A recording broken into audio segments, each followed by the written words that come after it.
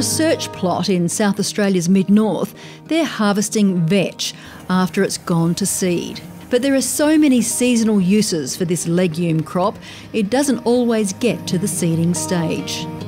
Vetch is not dual purpose, vetch is multi-purpose. There's about five end uses and the confusion comes in, well, where does that fit in? Stuart Nagel works for the South Australian Research and Development Institute, SARDI, the research division of the Department of Primary Industries and Regions in South Australia. He is the leader of the National Vetch Breeding Program, a major GRDC investment that's been trialling and releasing different varieties since 1992. When you're looking at vetch in Australia, there are three major species grown uh, quite widely.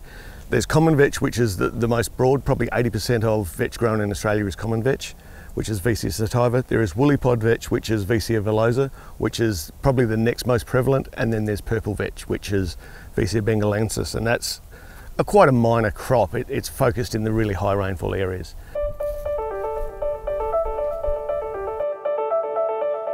Well, these are plots of woolly pod vetch that we're taking through the grain. You can see they're woolly pod because they're a very different flower and, and leaf and the pods are much smaller. Stuart Nagel has narrowed down the main uses for vetch.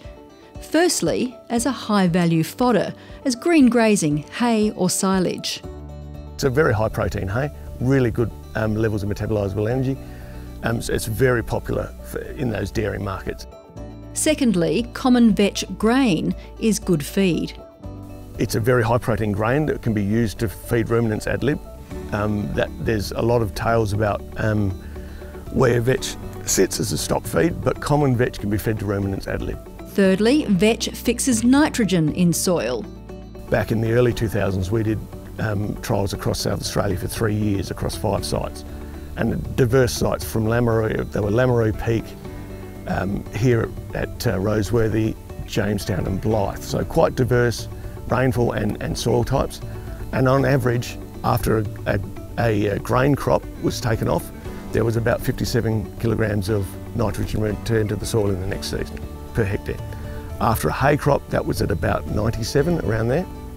And after a green manure, that was up to 145, 150 kilograms. Fourthly, it can be ploughed back in as green or brown manure. Brown manure became really popular in the, say, 2000, around the 2010 period in central western New South Wales. It became very popular in that more diverse country, the red soils over there, um, to have a, a, brown manure, they called it. They would spray it out in September, leave it standing and sow, sow back into it, not even graze it off. It provides a break from diseases like rhizoctonia. And finally, it can be useful in controlling crop weeds. You're using a different chemical range to your cereal, and vetch can be cut before weed seeds set. If you're either using hay or brown manure, you can crop chop the weeds at the time that suits you. Um, and so you can stop seed set. There's not a broad market for the seed, but Stuart Nagel says many farmers who grow it recognise its production value. Most of vetch is traded over a fence, and so it's not a traditional cash crop.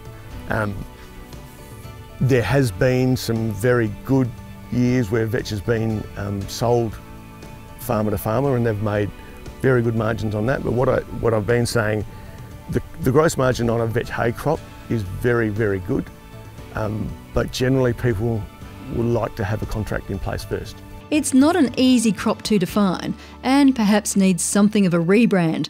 But Stuart Nagel says vetch in your farming system can give you on the go options your pulses you have to take through to that quality endpoint, whereas vetch, one of the strengths is its versatility during the year. You can go, this year is absolutely magnificent. We will take this grain through to grain, we'll produce good grain for the next few years, we'll lock that away. Or you go, look, it's just cutting off too quickly, let's bale it. Or look, I'm going to buy sheep and put sheep in on this because sheep are at $350 a head at the moment. Let's fatten some sheep up, get a couple of lambs out. So you can change your tack during the year.